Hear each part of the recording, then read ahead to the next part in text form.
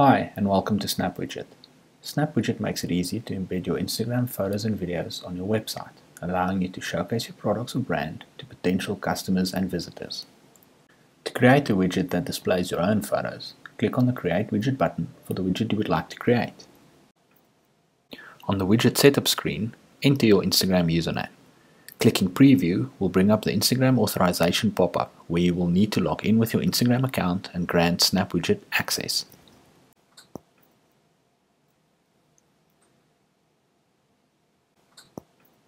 Once you're happy with the way your widget looks, click on the Get Widget button to save the widget and get the code snippet that you will need to add to your website.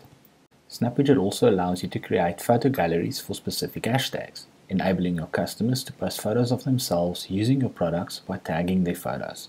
This makes it easy for potential customers to see real-life examples of your products. To create a widget that displays photos for a specific hashtag, click on the Create Widget button for the widget you would like to create. On the widget setup screen, enter the hashtag you would like to use. Clicking Preview will bring up the Instagram authorization pop-up where you will need to log in with your Instagram account and grant SnapWidget access.